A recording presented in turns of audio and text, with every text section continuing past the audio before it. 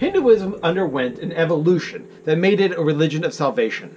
While drawing inspiration from previous literature like the Vedas, popular Hinduism departs from the tradition of the Brahmins.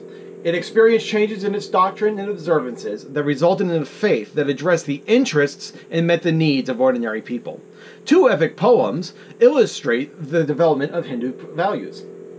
Both originated as secular tales transmitted orally during the Vedic ages, but Brahmin scholars revised them and committed them to writing, perhaps around the early centuries AD.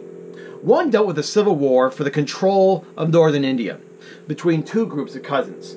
Though originally a secular work, the Brahmins made a prominent place for Vishnu, the preserver of the world, who intervened frequently on behalf of virtuous individuals.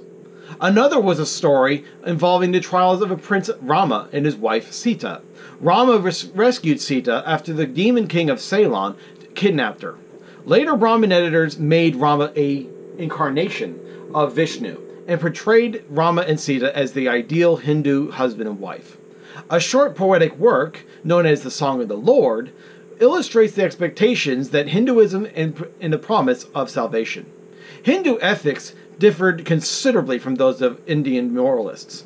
It previously taught that only through the renunciation and detachment from the world could individuals escape the cycle of incarnation. Now, in Hindu ethical teachings, it made life a lot easier for lay classes by holding out the promise of salvation to those who met their caste responsibilities.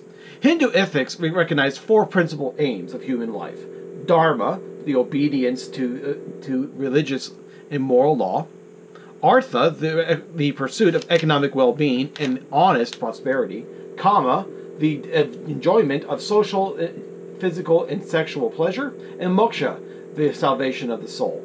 Hinduism gradually displaced Buddhism as the most popular religion within India. Within India, Buddhism grew remote from the popular classes, popular masses. Later monks did not communicate their message in the zealous way of their predecessors. Devotional Hinduism attracted political support and patronage from the Gupta emperors. The Guptas bestowed land on Hindu Brahmins and supported an educational system promoting Hindu values. The Guptas and their successors helped Hinduism become the dominant religious and cultural tradition in India. By 1000 AD, Buddhism declined in, Indian, in India while Hinduism grew in popularity.